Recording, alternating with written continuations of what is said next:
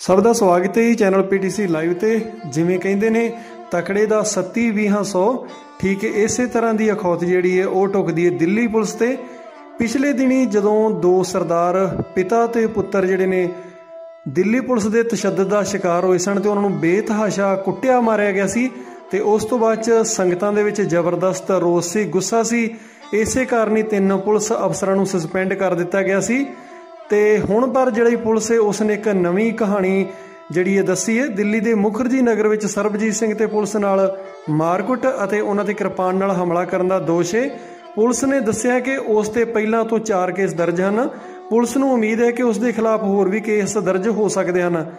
ਅਜਿਹੇ ਵਿੱਚ ਹੋਰ ਜਾਣਕਾਰੀ ਹਾਸਲ ਕਰ ਰਹੀ ਹੈ ਪੁਲਿਸ ਤੇ ਉਹਨਾਂ ਨੇ ਲੋਕਾਂ ਨੂੰ ਅਪੀਲ ਕੀਤੀ ਕਿ ਮੁਖਰਜੀ ਨਗਰ ਮਾਮਲੇ ਵਿੱਚ ਜੇਕਰ ਕਿਸੇ ਨੇ ਮੋਬਾਈਲ ਨਾਲ ਵੀਡੀਓ ਬਣਾਈ ਹੈ, ਤਾਂ ਉਹ ਹੋਰ ਵੀਡੀਓ ਵੀ ਪੁਲਿਸ ਨੂੰ ਸੌਂਪ ਦੇਣ। ਪੁਲਿਸ ਦਾ ਕਹਿਣਾ ਹੈ ਕਿ 20 ਸਤੰਬਰ 2006 24 ਜੁਲਾਈ 2011 27 ਜੁਲਾਈ 2013 ਨੂੰ ਵੀ ਸਰਬ ਸਿੰਘ ਨੇ ਕਾਨੂੰਨ ਆਪਣੇ ਹੱਥ ਵਿੱਚ ਲਿਆ ਸੀ। ਉਸ ਦੇ ਖਿਲਾਫ ਤਿਮਾਰਪੁਰ ਸਣੇ ਅਲੱਗ-ਅਲੱਗ ਥਾਣਿਆਂ 'ਚ ਝਗੜਾ, ਮਾਰਕੁੱਟ ਅਤੇ ਸ਼ਾਂਤੀ ਭੰਗ ਕਰਨ ਦੀਆਂ ਧਾਰਾਵਾਂ ਹੇਠ ਕੇਸ ਦਰਜ ਨੇ। ਸਰਬਜੀਤ ਸਿੰਘ ਤੇ ਪੁਲਿਸ ਦੇ ਵਿੱਚ ਹੋਏ ਝਗੜੇ ਅਤੇ ਮਾਰਕੁੱਟ ਤੋਂ ਬਾਅਦ ਵਧਿਆ ਮਾਮਲਾ ਤੀਜੇ ਦਿਨ ਸ਼ਾਂਤ ਹੋਇਆ। ਲੇਕਿਨ ਧਾਰਮਿਕ ਰੰਗਤ ਦੇਣ ਕਾਰਨ ਇਹ ਮਾਮਲਾ ਦਿੱਲੀ ਪੁਲਿਸ ਨੇ ਬਹੁਤ ਭਾਰੀ ਪੈ ਗਿਆ। ਇਸ ਮਾਮਲੇ ਵਿੱਚ ਕ੍ਰਾਈਮ ਬ੍ਰਾਂਚ ਨੇ ਫਿਲਹਾਲ ਜਾਂਚ ਸ਼ੁਰੂ ਨਹੀਂ ਕੀਤੀ। ਕ੍ਰਾਈਮ ਬ੍ਰਾਂਚ ਦੇ ਅਧਿਕਾਰੀਆਂ ਦਾ ਕਹਿਣਾ ਹੈ ਕਿ ਪਹਿਲਾਂ ਦਰਜ ਦੋਵੇਂ ਕੇਸਾਂ ਦਾ ਅਧਿਐਨ ਕੀਤਾ ਜਾਵੇਗਾ ਤੇ ਵੀਡੀਓ ਵੇਖੀ ਜਾਵੇਗੀ। ਉਸ ਤੋਂ ਬਾਅਦ ਚ ਜਾਂਚ ਸ਼ੁਰੂ ਕੀਤੀ ਜਾਵੇਗੀ। ਵਿਵਾਦ ਦੇ ਵਧਣ ਕਾਰਨ ਪੁਲਿਸ ਦੇ ਸੀਨੀਅਰ ਅਧਿਕਾਰੀਆਂ ਦੇ ਨਿਰਦੇਸ਼ ਤੇ ਦੋ ਮਾਮਲੇ ਦਰਜ ਕੀਤੇ ਗਏ ਸਨ। ਰਿਆਂ ਇੱਥੇ ਖਾਸ ਗੱਲ ਜਿਹੜੀ ਧਿਆਨ ਦੇਣ ਵਾਲੀ ਉਹ ਇਹ ਕਿ ਇੱਕ ਇਨਸਾਨ ਨੇ ਜੇ ਕੋਈ ਗਲਤੀ ਕੀਤੀ ਵੀ ਤਾਂ ਉਸ ਦਾ ਛਰਿਆਮ ਸੜਕ ਤੇ ਧੂ ਧੂ ਕੇ ਉਸ ਦੀ ਕੁੱਟਮਾਰ ਕਰਨਾ ਤੇ ਉਸ ਨੂੰ ਮਾਰਨ ਵਰਗਾ ਕਰ ਦੇਣਾ ਇਸ ਤਰ੍ਹਾਂ ਦੇ ਹਾਲਾਤ ਬਣਾ ਦੇਣੇ ਤੇ ਉੱਪਰੋਂ ਇਸ ਤਰ੍ਹਾਂ ਤਕੇਸ਼ਾਈ ਕਰਨੀ ਤੇ ਇੱਕ ਨਬਾਲਗ ਨੂੰ ਕੜੀਸ ਕੇ ਉਸ ਦੇ ਸਰੀਰ ਨੂੰ ਖਿੱਚ ਕੇ ਲੈ ਕੇ ਜਾਣਾ ਉਸ ਨੂੰ ਮਾਰ ਦੇ ਜਾਣਾ ਕਿ ਇਹ ਇਸ ਕਾਨੂੰਨ ਦੇ ਅਧੀਨ ਆਉਂਦਾ ਸੋ ਇਹ ਆਉਣ ਵਾਲਾ ਵਕਤ ਦੱਸੇਗਾ। ਹਜ਼ਾਰ ਗੁਣਾ ਜ਼ਿਆਦਾ ਮਾਰਾ ਹੈ 1000 ਗੁਣਾ ਜ਼ਿਆਦਾ। लठों से जो पुलिस वाला आया, जो पुलिस वाला आया, वही मार रहा है। मारो मारो।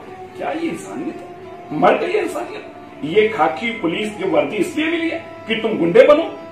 केवल एक ही कारण उनको मार पीटने का, क्योंकि उनके पास खाकी वर्दी थी और वो खाकी वर्दी में गुंडे थे। वो पुलिस वाले नहीं हैं। ऐसे पुलिस वाले नहीं होते। ये गुंडागर्दी है, ये लुटेरे हैं। ये पैसा लूटने के लिए काम करते हैं ग्रामीण सेवा को रोज लूटते हैं और जो नहीं देता उसको ऐसे कूटते हैं। लेकिन हम ये ऐसे बर्दाश्त करने वाले नहीं आप क्या मानते हैं आगे अपने प्रोडक्ट्स को करेंगे और क्या डिमांड सब रखते हैं? हम आज दिल्ली पुलिस को मौका दे रहे हैं। मैंने ऑलरेडी दिल्ली पुलिस के एसओ साहब से बात कहा है। मुझे सीपी साहब का टाइम मिले के लिए आज। हम दिल्ली पुलिस से मांग करते हैं इनके खिलाफ मुकदमा दर्ज हो। जैसे इन्होंने मारा है वो जो धाराएँ बनती हैं और दो सौ पचानवे ए एक सिख के सेंटीमेंट से जिस तरीके पैरों के साथ उसको उसके केसों को उसकी बेअदबी की गई है उस पर जो वो थाने मंत्री मुकदमा दर्ज करे अगर नहीं दिल्ली पुलिस करेगी तो कल दिल्ली जाम रहेगी दिल्ली पे हम सड़कों पे रहेंगे और ये प्रोटेस्ट खाली हमारा नहीं है दिल्ली के लोगों का है देश के लोगों का है। अकाली दल पूरे पंजाब से लेके पूरे देश के लोगों को दिल्ली में एकत्रित करेगी और दिल्ली को जब, तब तक रोक देंगे जब तक ये मुकदमा दर्ज करके